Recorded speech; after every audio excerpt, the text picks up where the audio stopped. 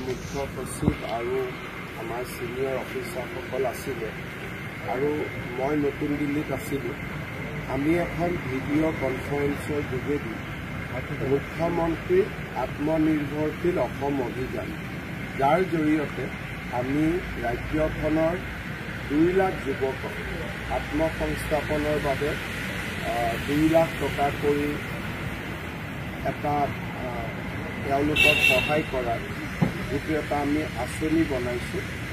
তাক আমি চূড়ান্ত ৰূপ দিয়াৰ বাবে আজিৰ ভিডিঅ' কনফাৰেন্সত আমি কথা বতৰা পাতিছিলোঁ আৰু আমি আঁচনিখন এক প্ৰকাৰ চূড়ান্ত কৰিছোঁ। অহা তেইছ বা চৌব্বিছ তাৰিখৰ পৰা আমি ৰেজিষ্ট্ৰেশ্যন খুলি দিম। গতিকে যিটো লাষ্ট মিনিট আমাৰ যিবিলাক ইছ্যু আছিলে সেইখিনি আজি আমি ফাইনেলাইজ কৰিম। আমি ৰাজস্থানলৈ যাব আজি আজি আৰু কালি মই ৰাজস্থানত আছোঁ পৰহি ছত্তীশগড়তো আপুনি তিনিদিন ছত্তীশগড়ত এদিন চাৰিদিন হৈ গ'ল।